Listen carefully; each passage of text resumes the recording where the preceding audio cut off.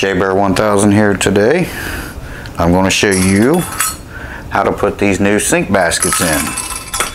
And we'll do this from start to finish. I'm going to do some drain work. Um, I won't touch too much on that because all drains are, the drains are different, you know, they're configured different, but I will show you what, what we got in case you have something similar. But the main purpose is for this here, and I'll be showing you what we're going to be using. Stick around, you don't want to miss it.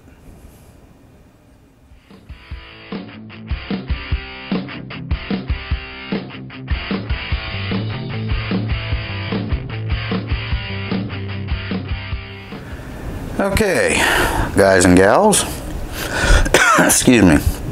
We're to put, be putting these in our new sink. We got these, they're, they're kind of cool. You just spin them out and you can just take your stuff out. Less chance of clogging your drains up. These are stainless steel. Uh, they look pretty decent. Um, these pieces will be going on to the drain, so we're going to go ahead and take these out right now because we don't need them just yet.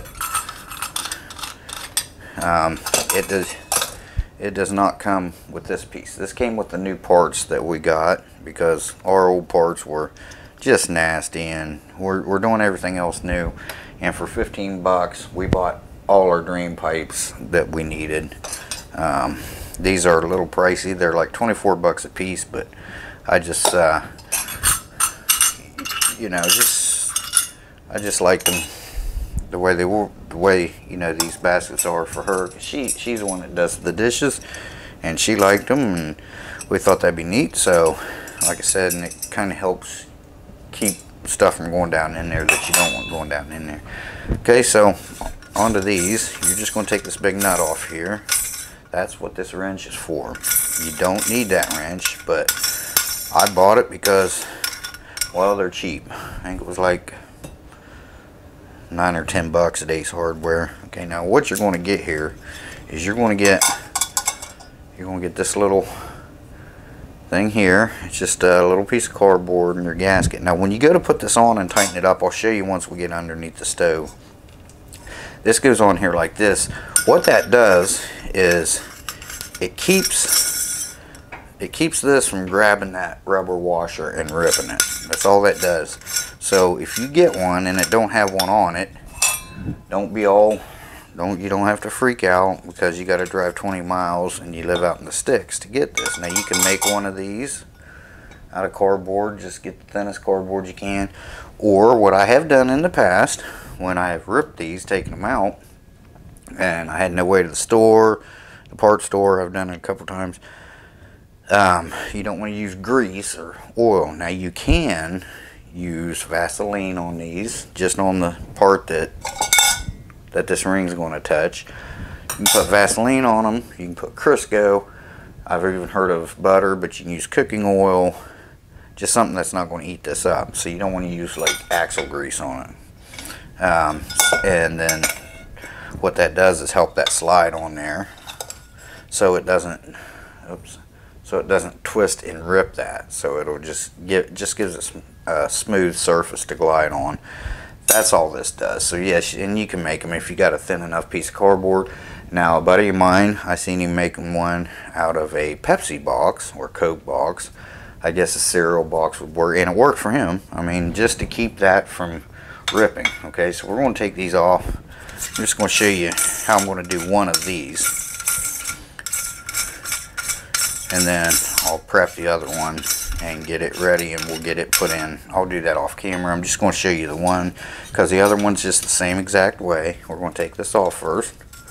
Okay. Then we'll get to the other stuff. Now we got this plumber's putty. Of course you've seen I got this at Ace. It was like four bucks.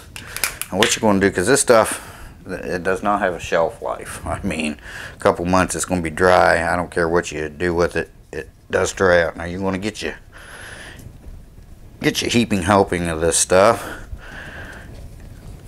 Um, I usually like to use the uh, the stain free, the stuff that's not supposed to stain, but um,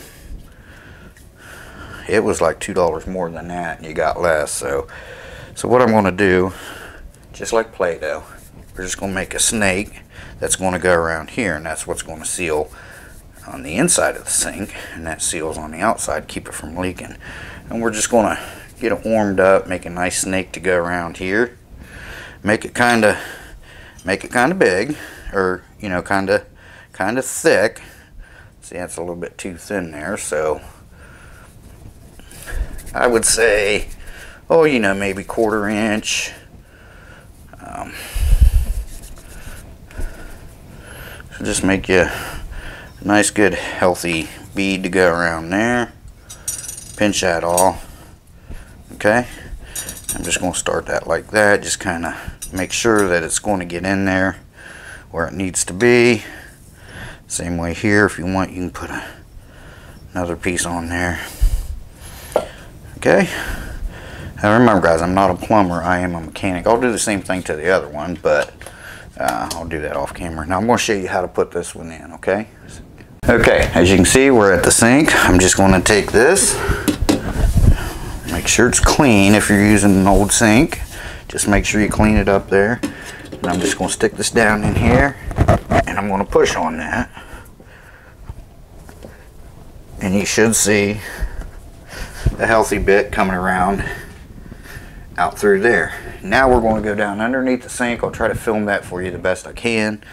Uh, if you guys saw the faucet video that was almost a catastrophe. Okay now we're going to go down underneath and I'll show you how to tighten them up. Okay guys, as you can see, we've got some some of this putty coming off down or that that squeezed out through there. Just take that, just take it off with your finger all the way around there. No big deal. Take it off. Now what we're going to do is we're going to put put our rubber washer on first then our little cardboard piece.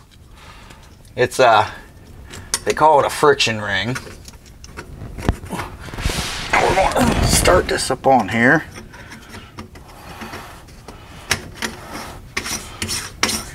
And just, if it doesn't go, turn it backwards a couple times and then go forwards and it'll go. Just don't cross-thread it. It should, you should be able to, if you're working with clean stuff, you should just be able to flip that up there with your fingers just like that okay? Now we're going to go ahead. I try to keep it as centered as possible. It's not that big of a deal. It's just what I like to do. Okay now let me grab my have to grab my uh, needle nose pliers I'll show you what them oh they're right here I'll show you what them are for now what we're going to do is we're going to take this little wrench here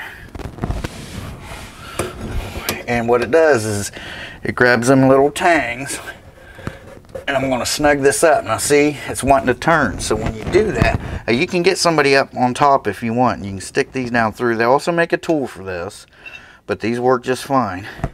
But uh, So what I'm to do, I'm trying to get out of your guys' way. Okay. I'm just to stick these right up through them holes, just like that. And I'm to hold it and I'm to go ahead and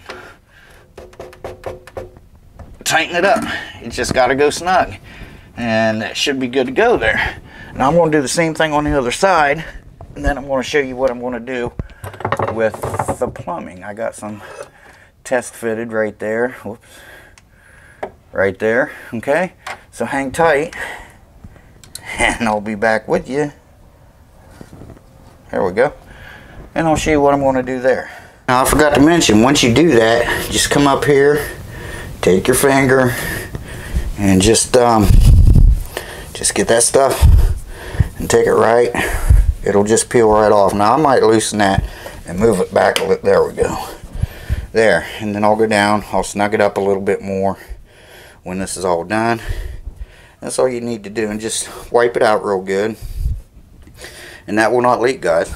So I'm to go ahead and get the other one put in. I'm to make sure this is snug.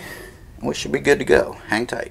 Okay guys, I'm to try my best to try to stay out of your way. But here's that piece that goes up here on the drain. Now it's going to take one of these. It does come with it. It's going to go in to that just like that. This is going to go in here. And we're just going to screw this up on here.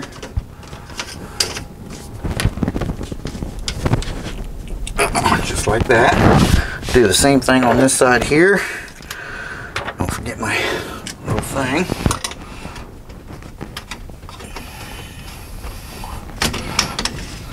There we go.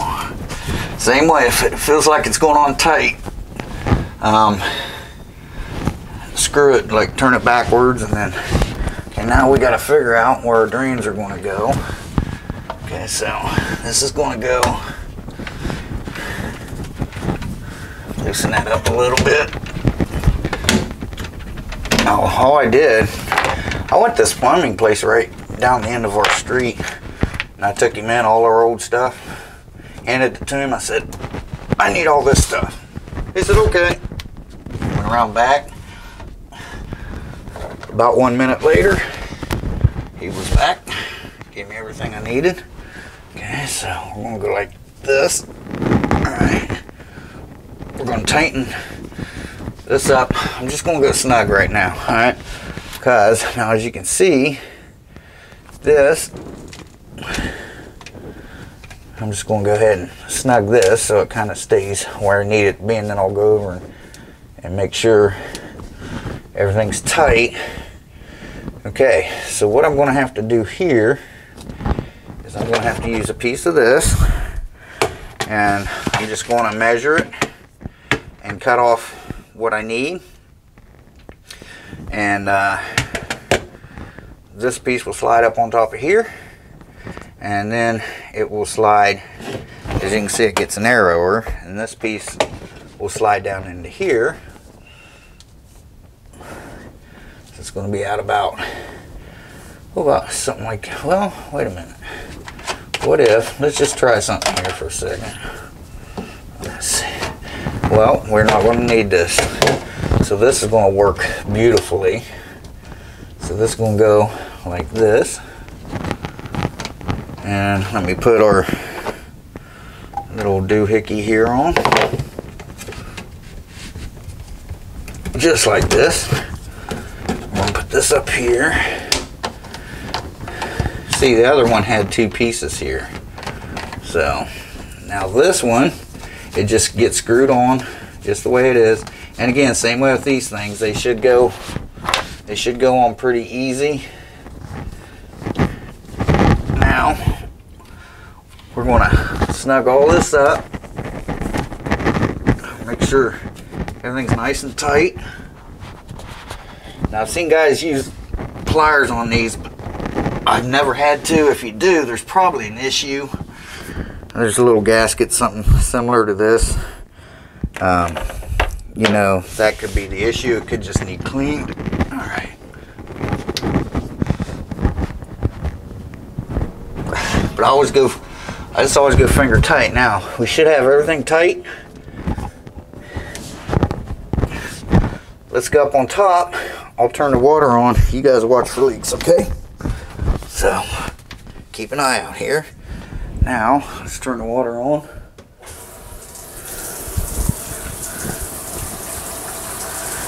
I don't see any leaks. Nothing's leaking yet.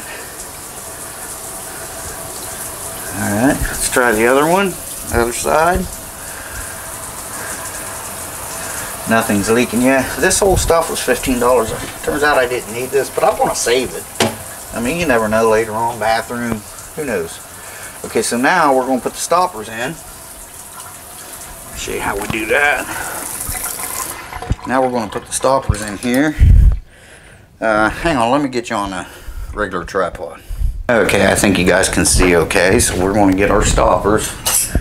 We're to fill the sink up a little bit. So these are, that's all you do. That's it. You don't have to over tighten guys, just, just like that. You don't have to torque them like you're torquing head bolts on a 455 big block Chevy. So here we go. What I'm going to do is I'm going to let this run. I'm going to fill fill these up about halfway and then we're going to drain them and watch for leaks underneath. Okay, so we got these about half filled up. Didn't take very long. It to take forever with our other one. These are much deeper too, so I think she'll like that. So, now what we're going to do is start draining these, see if we got any leaks. So you can pull that clear out or you can just leave it there.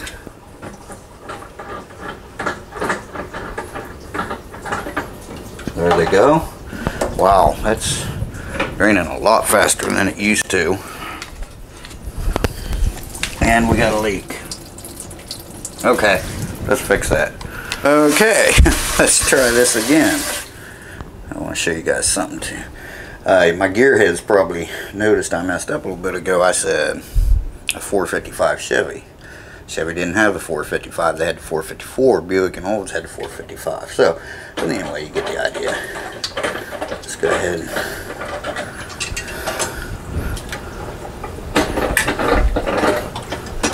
take them out. Wow, that's really draining. There we go. See, there's the weight I was telling you about in the other one, in the other video. That just hangs on there like that. Some of them, they actually clamp on. There we go. Much better. Okay, now, uh, I'll show you guys something here in just a second. Wow, that, you know, that's not even, that's not even rubber. See, that's just uh, stainless steel. And I had the pipes off of there and it wasn't leaking a bit. And I'll show you what what I'm talking about. Hang on just a second. Okay, so now the leak issue. Do you guys remember when I was talking about how important these things were? That's how important they are. yes, your old pal Shabear 1000 forgot to put one of these in. So there you go. Everything's good to go. Now the reason why, I'll show you something here. We went ahead and got all new parts. It wasn't because they were leaking or cracked. It's because, can you see inside there? That's all built up. Not sure what it is, but it's built up. Now, this I took out of the drain pipe there, the waste trap pipe. What it is, I don't know, but I figure it came out of these pipes. So we just went ahead and got new ones for 15 bucks. Why not, right? So there you go, guys. That's how you do that. Just, um, just remember, don't forget that little ring. I don't know what the hell I did with it, but that ring I just showed you. Don't forget to put that in there. so we're good to go now. Everything's fine. I'm going to fill it up a couple more times, make sure there's no issues. But other than that, you should be good to go. Um, hey, you know, no scripting here. it's real life. That happens. Because uh, remember, I just dry fit everything, stuck it up in there. I forgot that one little, that one little thing there. So, and that'll cause that. So, anyway, guys, I want to say thanks for watching. Appreciate it. Stay tuned for we got the backsplash coming in a week or two, and uh, we'll install that together. Once this is all done, I'll I'll give you. I'm sure Monkey will too. She may do hers before, but I'll give you a whole tour of what what we've got going on. She ordered some things for like my spices and for a bamboo thing organizer for your silverware and stuff. She's gonna. I think she's gonna film that uh, unboxing it and checking that stuff out. So be sure to check her channel out. And I'm sure she's going to give you a complete review of the kitchen. I still got to get the fridge back where it belongs and everything. And um, so just nitpicking stuff now. We're good to go. So anyway, guys, thanks for watching. Hope you enjoyed this uh, as much as we did. And uh, I appreciate you watching. Don't forget to check out Monkey 1000 channel. Appreciate it. And I'm going to say Shabear, the myth, the man, the legend. I'm gone for now. Don't forget that, guys. we'll see you in the next one. Bye-bye, guys, and take care.